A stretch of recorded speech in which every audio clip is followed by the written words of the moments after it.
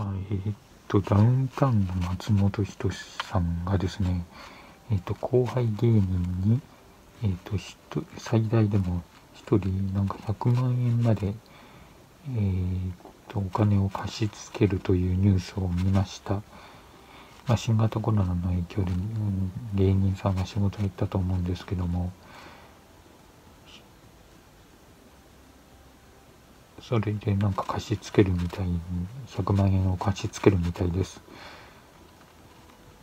それで、えっと、吉本の芸人さんって何人ぐらいいるのかよく知りませんが、あとそれから全員に松本人志さんが貸し付けるのかとか、それも、そのこともよく、そこまでよく詳しくありませんが、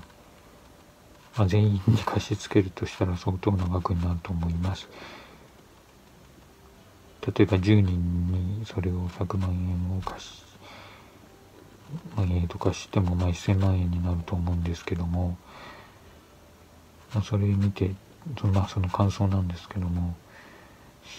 まあ、すごいというか、まあ、貸し付けだから、まあ、帰ってこない可能性もあると思うんですけども、全員本当に返すかどうかはわかんないと思いますけども、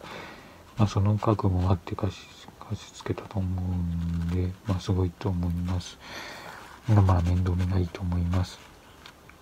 それならお金の貸し借りっていうのは、まあ、人間関係崩れる原因なので、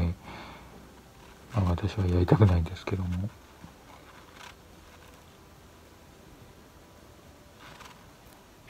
松本さんは本当面倒見がいいとは思います。